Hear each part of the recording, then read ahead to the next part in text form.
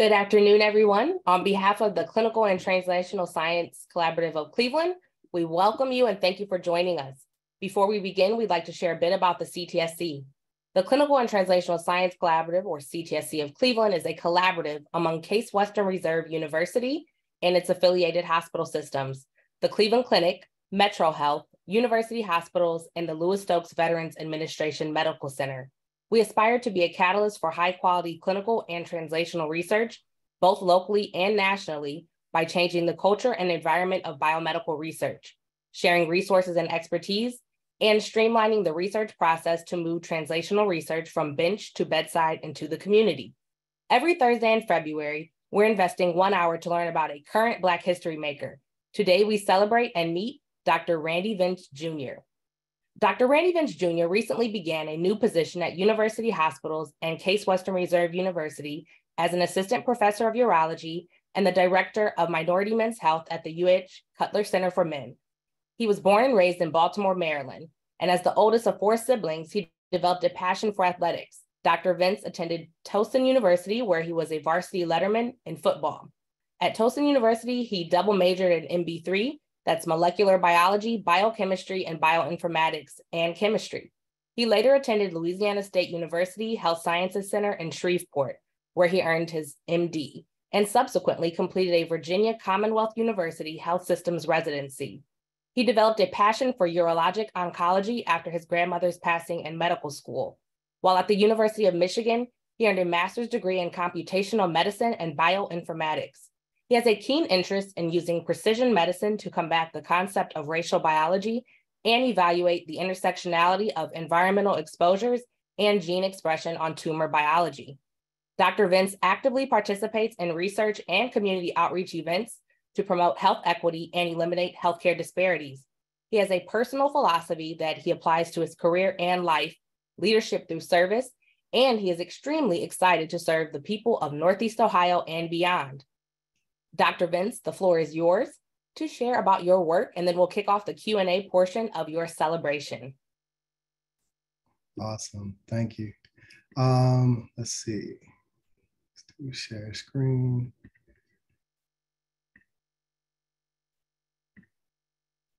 Okay, can you see the slideshow? Perfect. All right, so it's a pleasure to be here with everyone um, this afternoon. Uh, I want to thank you uh, Mrs. Thomas Esquire. I want to make sure I give you your proper due um, for the invitation to speak. And I am um, extremely humbled. Um, and I want to say something really quick. When you do equity work, um, the last person you look to serve is yourself. And so I must confess, when making this presentation to talk about my journey in medicine and efforts to reduce um, some of the rate, reduce and address some of the racial disparities that we know exist within medicine, um, it was a little difficult to talk about myself. Um, but with that being said, I, w- I want to just go ahead and dive right in. So I have no professional disclosures that I need to make. Um, to start this presentation, I want to start by kind of journeying back to um, my childhood and giving you all an opportunity to just learn a little bit about my background and how I've got to this point today. Um, unfortunately, I put this pause there is because there were a lot of negative experiences that I had in my childhood and that has led me to this point today. Um, but these things are etched into the man that I am. And so the reason I put this pause is because me telling you about these negative experiences is in no way aimed to glorify those experiences. Um, and I am very cognizant of the oppressive systems that exist in this country and have been in place for centuries. And people are really literally dying on a daily basis as a result of those systems. So now that I got that out the way, I want to just dive right in with the introduction. And so every time I do a presentation, I like to introduce myself. Um, one, because I'm a surgeon, and when I tell people I'm a surgeon, they want to know, oh, well, what are your credentials? Where'd you, you know, where'd you train? All this other stuff. Um, but hopefully, by doing this introduction, you start to understand why many of the issues we discussed today are so proximal to the man that I am um, currently. And so, yes, I am Dr. again, Dr. Randy Vince Jr. Um, I did medical school at LSU in Shreveport, Louisiana, urology residency in uh, Richmond, Virginia, Virginia Commonwealth University. a fellowship in urologic oncology at the University of Michigan. Additionally, what you heard some in the introduction, I have a master's in computational medicine and bioinformatics, served on a few committees with the American Society of Clinical Oncology, and these committees were aimed at increasing representation in medicine, as well as addressing social determinants of health. And I just hit the six month mark here at University Hospitals, where I'm an assistant professor in urology, but also um, the inaugural director of Minority Men's Health. But I often tell people every time I do a presentation in life, before any of those things, I'm a Black man from West Baltimore. So many of the things that we'll talk about in this presentation are things that I've not only researched, but things that I've lived through. And so that's just a brief introduction, but I want to give you a little more information about my background. And so, as I just told you, I'm a Baltimore boy at heart. Baltimore, just like many other cities around this country, has similar struggles. So whether we're talking about Baltimore, Cleveland, Detroit, New Orleans, Shreveport, Memphis, Richmond, DC, Philadelphia, you name the city, the clothes that you see people wear might be a little bit different. The lingo might be a little bit different, but the struggles are the exact same. And so I'm the product of these two wonderful people. Um, on the left, you see this is a picture of me and my dad. On the right, you see a recent picture of my mother. Um, I know uh, most people say, "Wow, you, she yes, that is my mom, and that's a recent picture. She's beautiful, I know."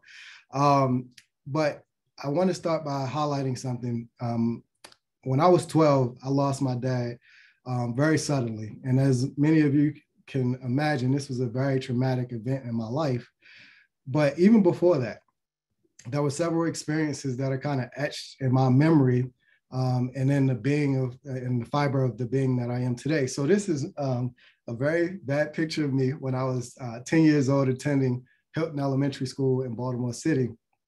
And I put this there because even before my dad's passing at the age of 12, I saw and experienced many things that would shape who I am today. And so you know, growing up in the inner city and seeing these things, you know, you saw things like hand-to-hand drug deals where you learn to spot that um, from a block away. I saw drug addicts injecting heroin. Um, many times they would blow the veins in their arms, wrists, and hands and convert to um, injecting in their genitalia. Seeing people robbed, beat, shot. And this includes my own uncle and my dad. Um, you know, if any of you have ever seen this, it's very unfortunate to fall out after a shooting, but the image of my dad's blood being sprayed off the sidewalk with a fire hose lasts with me to this day. And so many of these negative experiences shaped me um, to where I was a notoriously bad student. Uh, I was actually expelled um, from a middle school, one of the middle schools I attended, because of my poor behavior and poor performance. But thankfully, I was able to use sports as a, as a, as a conduit, if you will. And so I achieved a lot uh, athletically, had multiple honors in high school um, that allowed me the ability to go to college. However, attending poor performance schools my entire life, I must admit that I was not prepared for the rigors of college when I first got there. But even before getting to college, I got a chance to see how social determinants of health and medical distrust um, on display how they manifest. And so this is a lot of this initial part of the conversation will just be me giving you some personal stories. So this is these are my paternal grandparents. You see my beautiful grandmother here, who my family affectionately called Mama. She passed away when I was in high school. And at that time, I didn't grasp it. But our family, we really didn't go to the doctor's office much unless something was extremely wrong. And so as my grandmother's health started to decline and she knew things were getting bad, um, I remember having a conversation with my aunt in which she told my aunt, I'd rather lay home in my bed and die than go to the hospital, let them experiment on me and kill me. And so you can start to see how these things build on each other and again are etched into the man that I am today. And so moving on, had an opportunity to attend college. Again, I told you the struggle there was initially um, for the academic rigor, but I adjusted and adapted. I didn't make the decision to go to medical school until after college, actually. But even after I made that decision, I remember reaching out to the pre-med pre-dent committee chair. Her name was Dr. Joe Discordia. And I asked her for a letter of recommendation. and I still remember this email exchange in which she told me, You're a good student, not a great student. In order to excel in medical school, you need to be a great student. And she just flat out refused to write me a letter of recommendation. So this made me question myself and doubt myself and whether or not I was smart enough to actually move forward. However, persevered, was able to get into medical school. Um, and overall, the experience was positive, but there were things that stuck out to me that still linger to this day. Well, first and foremost, I was one of four Black students out of 120. And so, whether we're talking about how racial disparities were discussed in lectures, the fact that I had racist memes sent to me from classmates who claimed that they were joking and were never disciplined for it, and probably are still out practicing medicine to this day. Attendings discouraging me from applying to competitive specialties Had one attending tell me, you're no smarter than anyone else. Don't be upset with being average. And so all of these things kind of manifested. And now a part of why I, many of the things that I do as my work and my life are so important to me. And then I want to just kind of highlight one more thing about how racial disparities persist. So again, I told you I'm giving you personal stories. So this is my other grandmother, Dr. Ruby Prado. And we're on my mother's side of the family, we called her Nana. And I want to just tell you a little bit about her story. So she grew up in a segregated Baltimore, Maryland, and she dropped out of high school in the ninth grade. She moved to New York City. She was a housekeeper, and then she ultimately moved back to Baltimore and was a plant worker. And in her 30s, she realized the importance of education and ultimately wanted to go back to school. And so she achieved a high school diploma in her 40s. I still remember some of my older cousins because we often lived with our grandparents coming over to teach her algebra so that way she could get her high school diploma. Then she flipped that from a diploma to an associate's degree, a bachelor's, a master's, and a doctorate in divinity.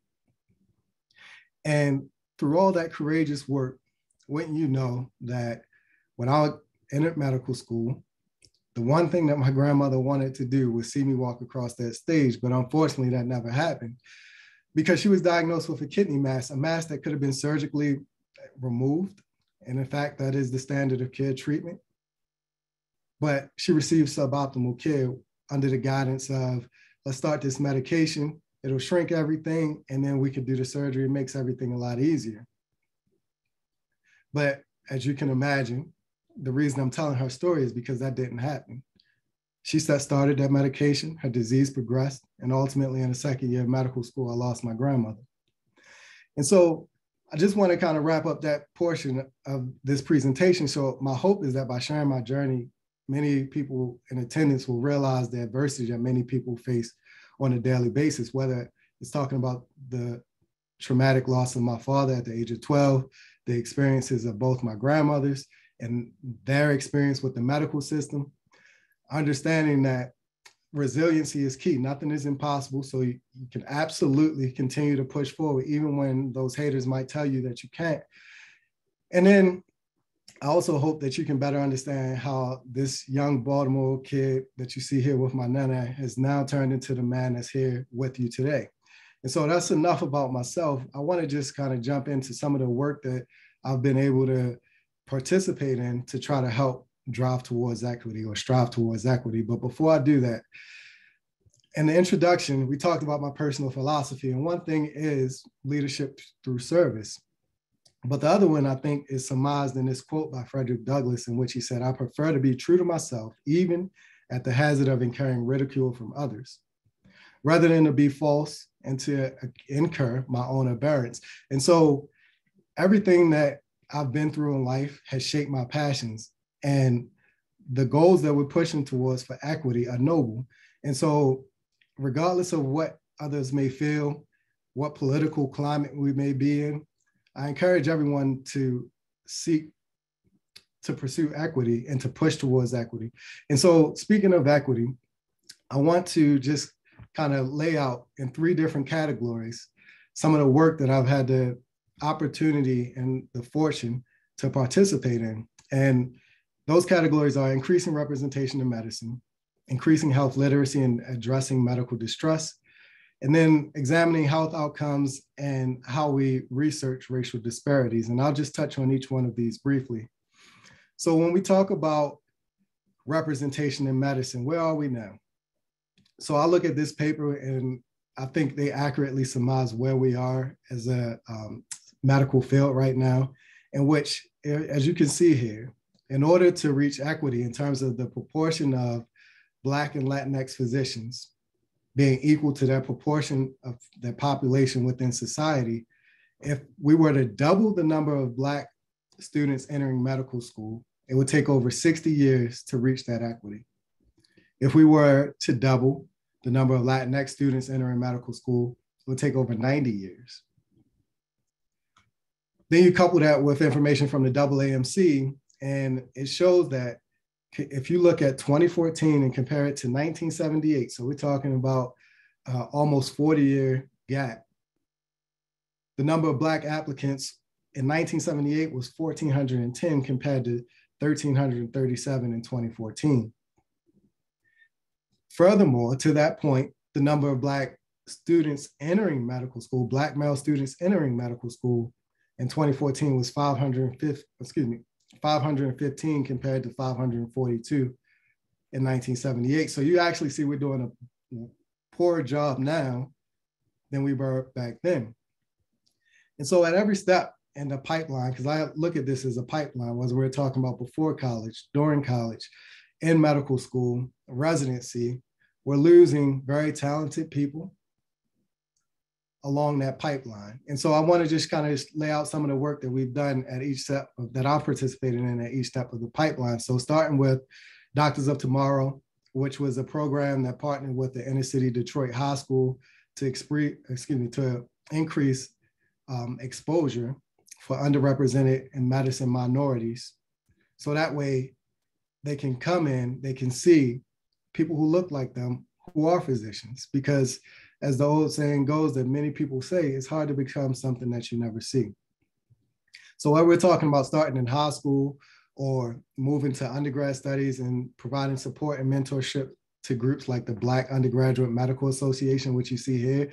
And they made me um, take the elders pose, which is everyone stands around you while you sit in the chair. You start to see how at every step of the pipeline, these things need to be addressed. And then moving forward, this is a program that I participated in with the American Society of Clinical Oncology, where we provided support and mentorship to current medical students who are underrepresented in medicine. And then, even beyond that, writing about it, showing why we have this massive failure and what the impact is on us as a healthcare system and as a society at large. And so I'll move on to the next topic, but as I do, I want to just let you know that these things are interconnected. And the reason I say that is because we talked about increasing representation. And these two studies that I put here, they show that Black patients are more likely to report a positive encounter and trust their provider when their provider is of a concordant race. So to state that differently, if I'm a Black patient and I see a Black physician, I'm more likely to have a positive encounter and I'm more likely to trust that provider. And that increased trust leads to increased compliance.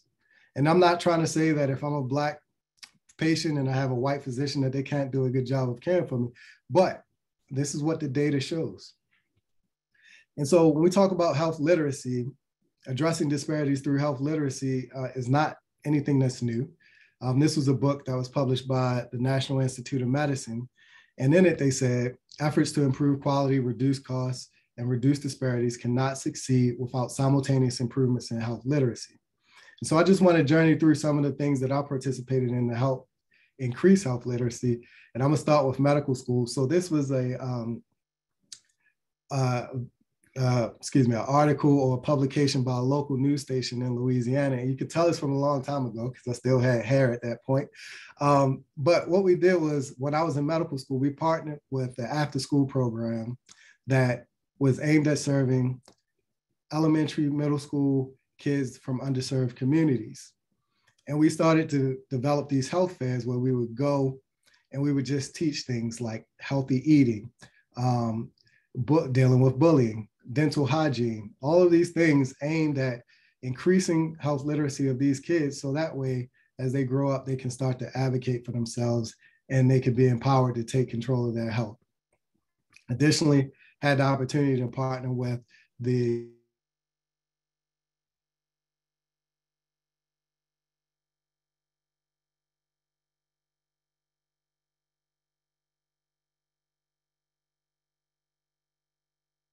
Cancer Society aimed at increasing education around prostate cancer, as well as engaging with Black fraternities like my own, I'm a Sigma, um, where we discuss not only prostate cancer, but other issues around men's health. And so finally, I wanna just touch on health outcomes and research. And when I talk about health outcomes, I'm really talking about the disparities that we know exist within healthcare. And to be honest with you, it starts at birth. And so many people on this call come to no surprise that when you look at this data and you look at infant mortality, you see that Black babies are more than twice as likely to die than white infants. And it only continues.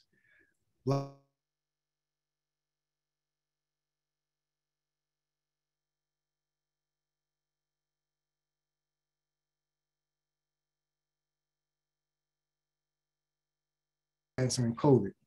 And what we know is that these disparities are rampant across all three. And if I want, if we had more time, we could break down all 10 really. And so when we see, when we talk about these disparities being rampant, we see disparities within cancer survival. This one is colon cancer, but we could just as easily substitute this for prostate cancer, lung cancer, you name it. There's disparities within cardiovascular disease. And we all know the widely published disparities about the COVID pandemic. And so the aim for me is to change how we do research around this and increase health literacy so that way we can start to address these disparities as well as increase or change the way we deliver care. And so one of the ways that it started doing that was just by writing this to try to shine a light on the issue. So this was an article that I wrote that was published in JAMA and I combine my thoughts around achieving equity, but I also put in some of my own personal experience to dis, to, excuse me, to demonstrate why change was needed and why we need to change the narrative. And so this is just a brief excerpt of something um, that I included in that article. But as I told you when I was in medical school, the way we talked about racial disparities was just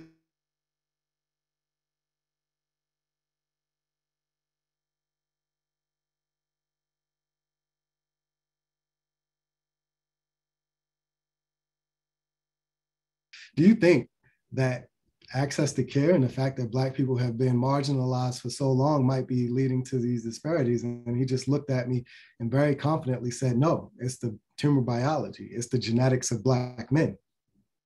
And so I, I thought to myself, with the way that we describe race in this country, the way we define race in this country, it's no way. So I saw it on a mission to change the narrative. And so whether we talk about participating in events like this um, panel that was put on by the Prostate Cancer Foundation, where we actually looked at the disparities we saw with the brand new disease in COVID 19 and how that applied to prostate cancer disparities. We are trying to shift the narrative, or things like this commentary, which again drew a connection between the disparities that we saw within COVID 19 to other public health crises all in the effort to show that these disparities are a result of societal problems, not some type of innate biology based off the color of your skin. Additionally, within medicine and research, we've been notoriously bad at how we discuss race and racism and its current day impacts.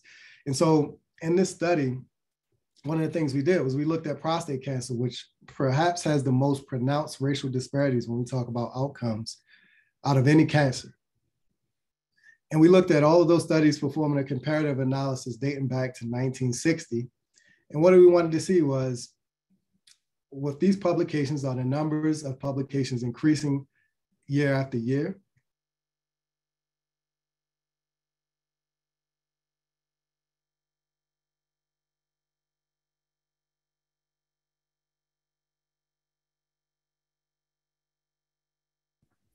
The year after year, the number of publications has increased. But when we look at the actual number of publications that mention race as a social construct, which you see in this graph up top, or mentioning racism, what you notice is is minimal at best. And so doing this type of these type of publications help change the narrative. In addition to that, hosting podcasts like this one that was put on by the American Society of Clinical Oncology. Well, we talked about social determinants of health and structural racism and the impact it has on the racial disparities that exist now within healthcare.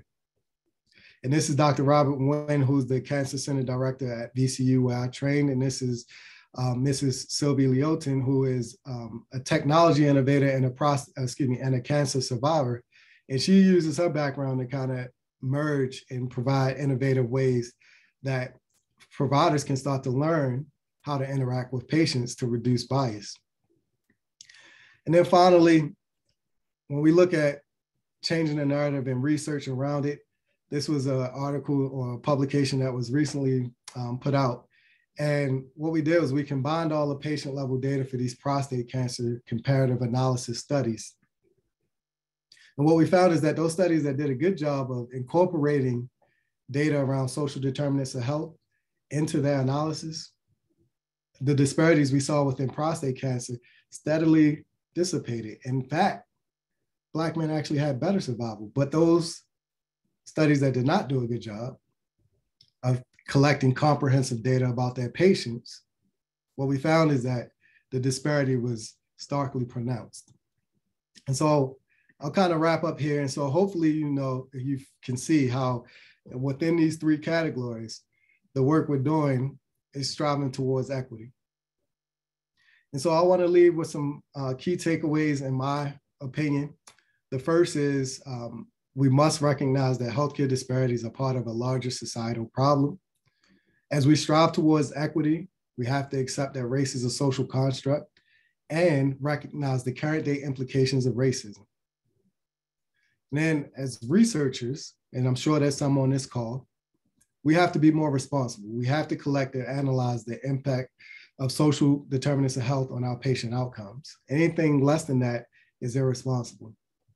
And I want to leave you with two quick final thoughts. One, actually, I heard recently, I was at dinner with a good brother by the name of Percival Kane.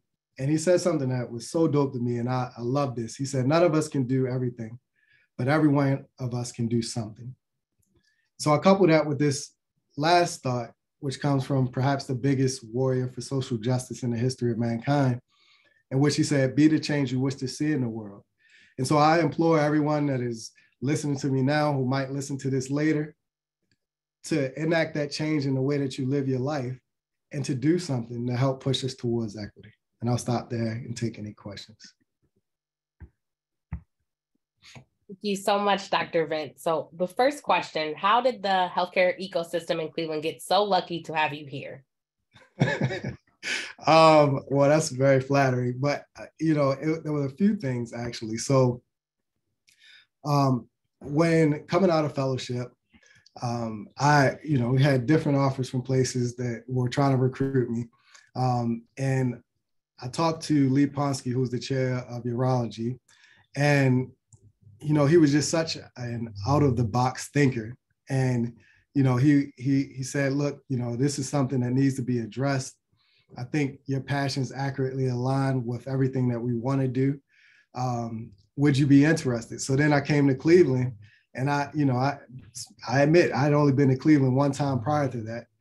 And I noticed that if you're not from the Midwest, Cleveland really doesn't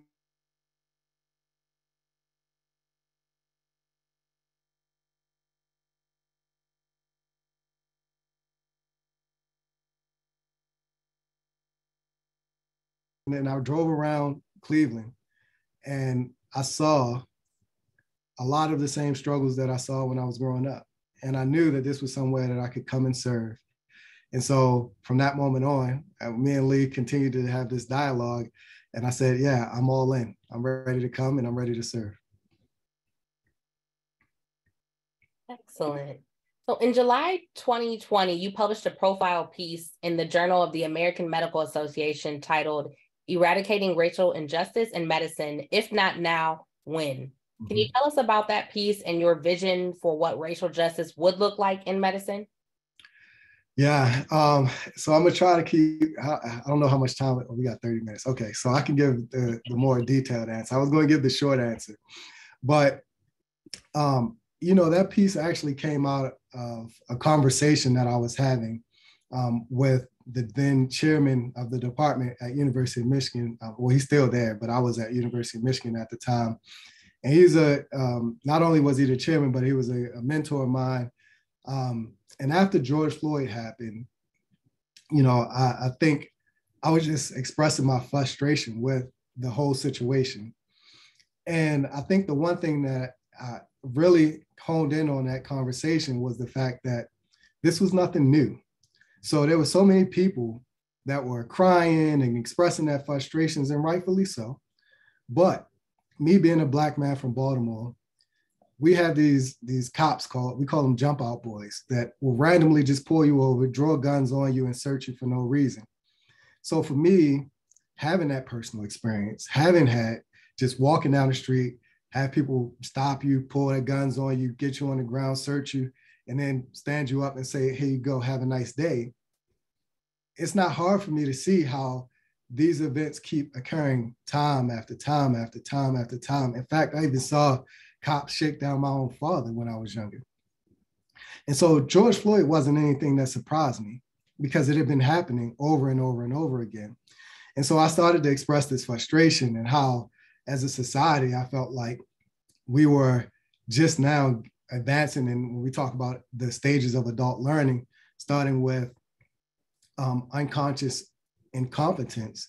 And I felt like we were shifting as a society to now having a conscious incompetence where everyone knows there's a problem, but nobody's doing anything about it. And so, you know, after that conversation, he looked at me and he's like, You just taught me so much in this conversation. You should write this because more people need to hear it. And so I, I did. I just put in some of my experiences and I wrote all of the things that I thought needed to happen for us to strive towards equity and reverse a lot of the impacts of racism within medicine, but not just medicine, be uh, more so within the society. And we have a question from Maddie McCarthy at University Hospitals. Yeah, so going back to when you were talking about how you received like racist memes from your fellow students and stuff, and how your professors kind of blew you off and stuff like that, I want to talk about uh, ask you if you have any like um, scripts or stuff, uh, how to address um, racist comments and stuff like that. I mean, I have my own, but if you have any helpful scripts that you could give people, or if people on this call have any scripts, it's always nice to add to the repertoire, so to speak. Every department should. Can you hear me? Yes. Okay. All right. I, I, I don't know if I cut out just then. I'm sorry about that if I did. But um, what I was saying is that I personally don't have any scripts, but I do think that it is something that um, every department should um, do education and training about, um, because you know the the experience I had within medical school. I mean, to be honest, was just unacceptable. The kid that sent me that meme, he openly said, "Yes, I, I sent it. Um, it was a joke, but it, you know, it used some very racist language." Um, and to me, like anybody who does anything like that in medical school of all places should be kicked out. But again, that didn't happen. And then we have another question from the chat. What is your advice for those young Black students trying to pursue a medical degree? Oh, yeah. So, a number of things. Um, seek out mentorship from someone who is further along than you are that you can connect with. Um, that does not mean, I mean, granted, like, you know, if you're a black man, if you can find a black male mentor, that's great. But if you can't, that's okay. Find someone who you can connect with because I often tell a lot of the kids that I go and talk to, you know, if you're thinking about a journey or a path that is dark and unknown, it seems like a very daunting task to travel, a daunting task and a difficult journey to, to forge. But when you have people in your corner who can kind of highlight the things that you need to do, they can give you advice, they can share personal experiences with you. Now that daunting task starts to become a little more doable. And so that would be the first thing. The second thing is to always take whatever negative experiences you have, whatever negative experiences someone is, you know, or, or negative a statement someone has made that discourages you, internalize it, process it, use it for motivation. Um, because, you know, the only person who can control your destiny and where you ultimately end up is yourself. So I, you know, there's other things, but I would just start with those two things.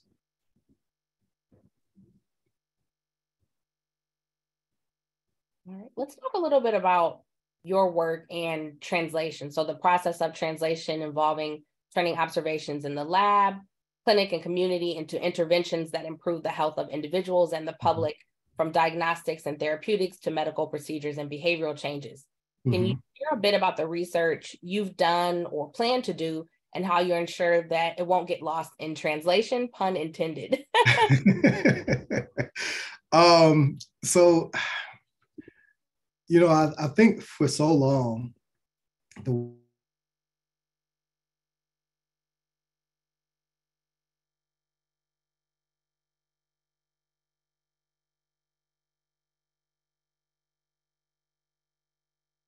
analyzing how our history has led us to this point. And so when it comes to my research, the goal is to really look at how social determinants of health and structural racism impact health outcomes. And then beyond that, you know, I, I think if you live in a marginalized community, the exposures you have actually influences your health. And so it, it's well known now that where you live and where you grow up has more of an impact on your health outcomes than the color of your skin. And so by doing research that highlights this issue, um, we again bring light to the issues and we highlight those issues. But the, the next part is really around outreach and engagement. And so the goal is to continue to do programming that is aimed at empowering marginalized communities and bringing more people into the health system so that way they can control their own health regarding uh, getting lost in translation, like you said, um, you know, I don't know. I, I, to be honest with you, I'm not scared of the challenge.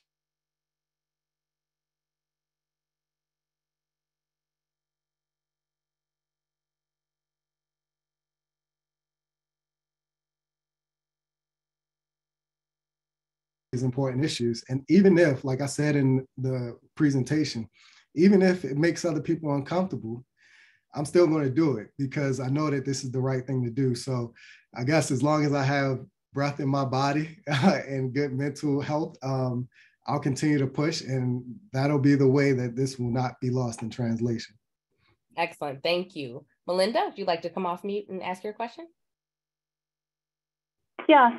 So you've discussed how uh, racial co concordance increases trust with the healthcare system. Um, unfortunately, as a Caucasian, I don't have that racial concordance. So aside from learning, educating, and be aware of the problem, is there anything I can do to increase that trust in the healthcare system?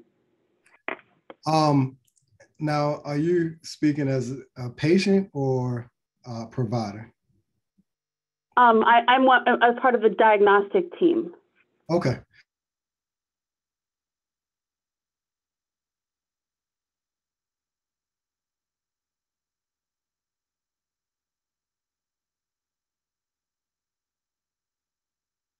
disparities and tackling their own implicit biases.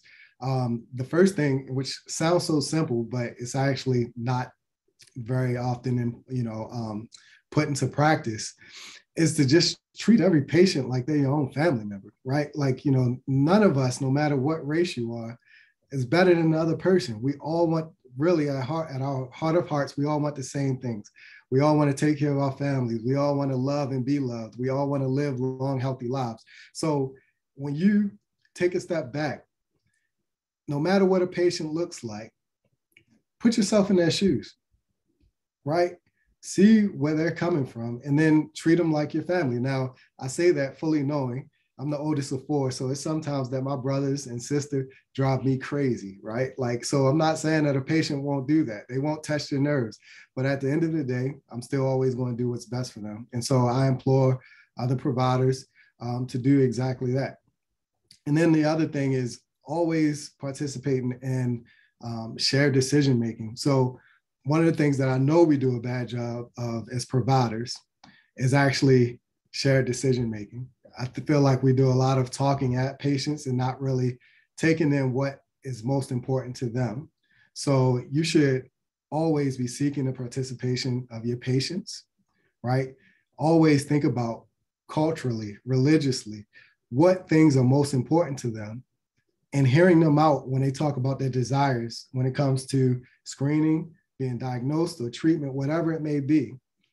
Because that's the real way you start to build that connection. I can't tell you how many times I've seen a, a patient and no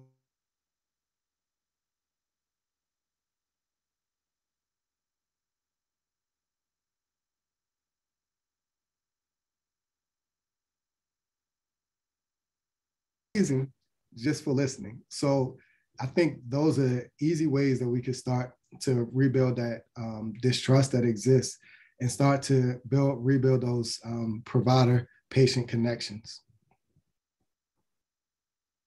Thank you. And Sherelle asks, how can you be requested to speak? Is there a particular way to reach out?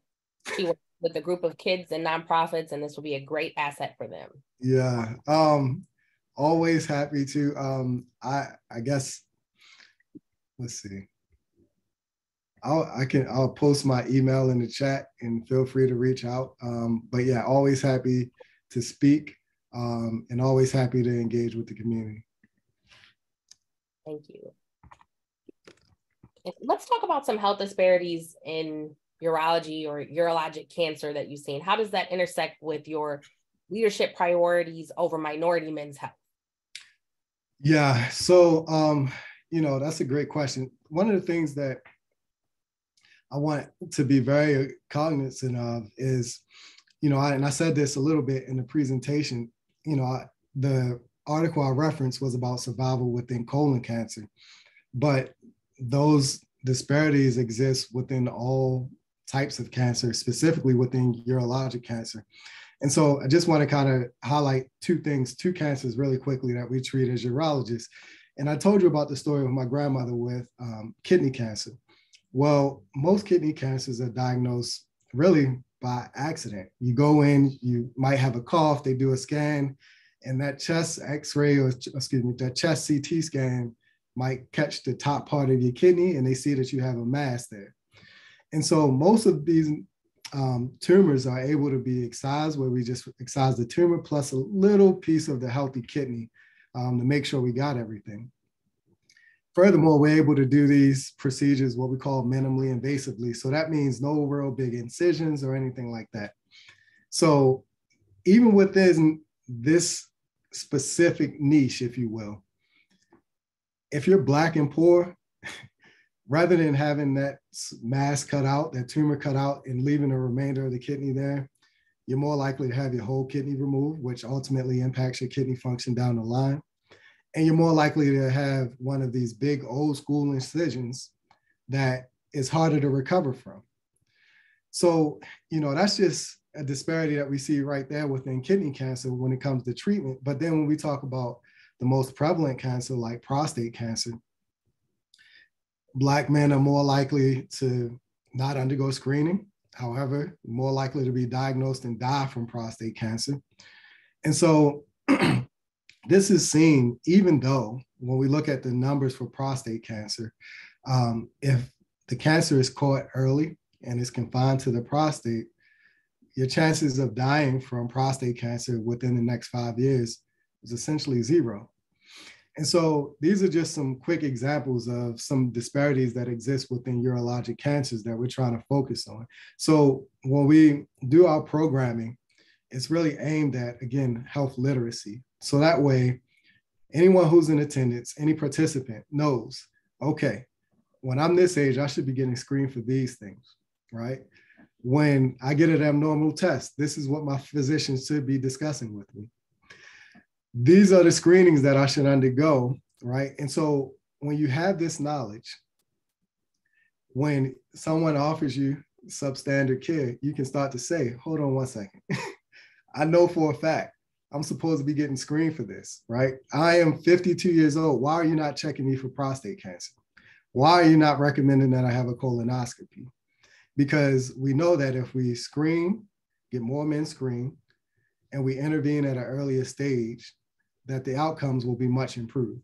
And so these are just some examples of things that we're aiming to, aiming to address with the Minority Men's Health Program that we're establishing. Excellent.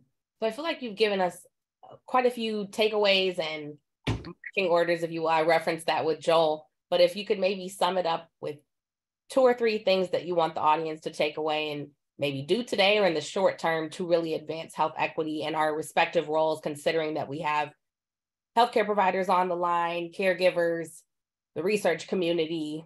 What what should we be doing next? I am so sorry. My internet froze just as you were starting to ask that question. So could you could you repeat it one more time?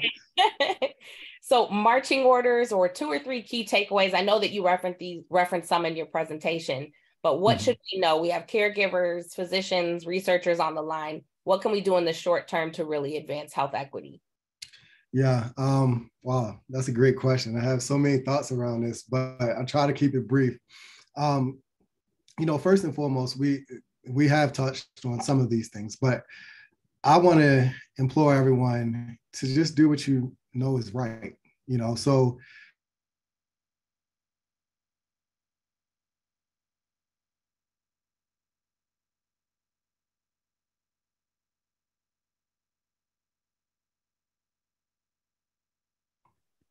Did I freeze again? I'm so sorry. You, you can hear me now? Now we can hear you. If you could start. Oh I am so sorry. Um, this is what happened when you try to do stuff from home, right? um, so to answer your question, I, I, I think just starting off by doing what you know is right. We're all here. We all we're talking about equity because we know this is the right thing to do. So start off there. Like we said, just do something right you know all of us have unique skill sets right so it doesn't mean that you have to be a surgeon you don't you know if you're in the healthcare field whatever your skill set is apply that so that way we can push towards equity and then as researchers and within the healthcare field um, within medical research don't be afraid to push back on um, the old narratives that we've been taught you know because it's obvious that we've been doing the same thing over and over and over again, and we're still in the same place. And just to kind of give an example about that, we've poured billions of dollars in research towards identifying a genetic cause for the difference and while black men are more likely to die from prostate cancer than white men. And with those billions of dollars, you thought you would think we were able to identify a specific genetic cause, but we haven't. So, you know, and the data that we found is all over the place, right? So, you know, that is one of the reasons why I say don't be afraid to challenge narratives, don't be afraid to push back, because we need to, as a collective field within healthcare, no matter what your role is within healthcare, do a, a, a massive pivot in the way that we do things, in the way that we analyze the racial disparities that we know exist. Perfect. All right. So, what is next? We will have Michelle Browder. She's the owner of More Than Tours. She's an advocate, artist, and visionary of the Mothers of Gynecology Monument.